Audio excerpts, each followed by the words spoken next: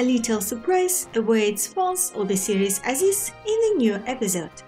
As it became known, one of the episodic roles in the project will be played by the wife of Murat Yildirim, Iman Elbani.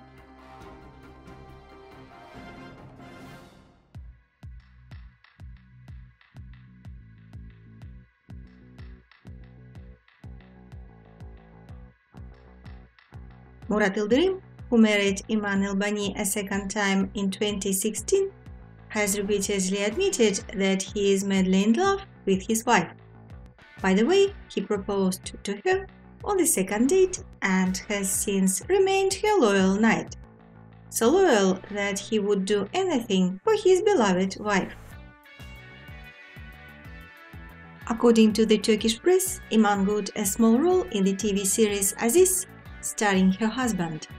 She will play the Egyptian princess Fevziye who came to buy carpets. The appearance of her character will change the course of the plot.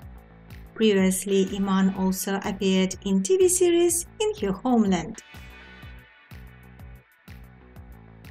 It looks like this is a small gift that Murat presented to his beloved wife.